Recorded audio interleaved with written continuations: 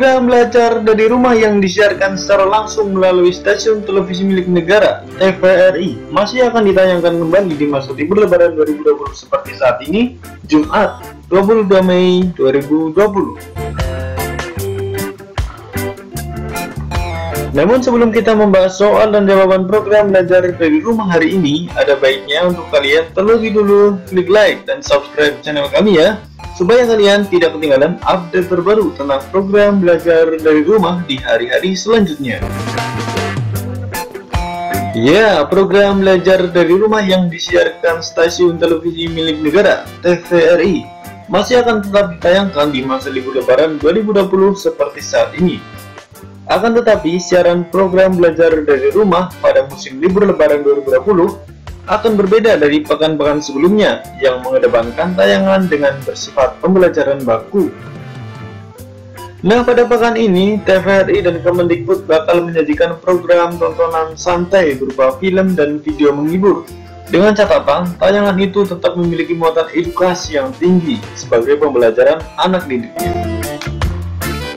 Terkhusus untuk kalian anak didik kelas 4-6 SD, soal dan jawaban pada hari Jumat 22 Mei 2020 ini adalah Kalian hanya diminta untuk menyaksikan tayangan Anti Corruption Film Festival dengan judul Repetisi Ilusi dan Sebuah Nama.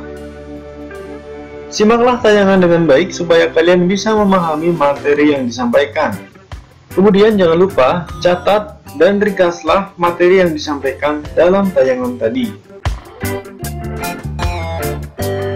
Soal nomor 1 Rangkumlah cerita dari tayangan hari ini.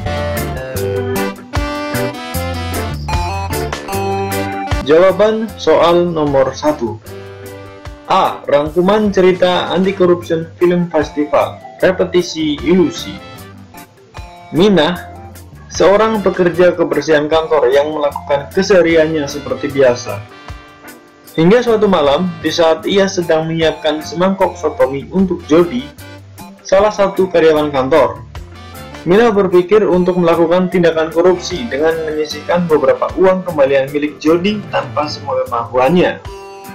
Nah dari situlah fenomena aneh pun terjadi ketika dirinya membuat ia selalu kembali ke peristiwa korupsi yang ia lakukan. B. Rangkuman cerita anti korupsi film festival Sebuah nama Dina ditugaskan untuk mencatat nama murid yang gaduh saat pelajaran. Hal ini menimbulkan konflik antara Dina dan teman-teman sekelasnya. Bagaimana respon Dina dalam menghadapi konflik tersebut? Cara Dina untuk menghentikan konflik tersebut tidak lain adalah dengan turut mencatat namanya sendiri di dalam daftar nama murid yang gaduh saat pelajaran berlangsung.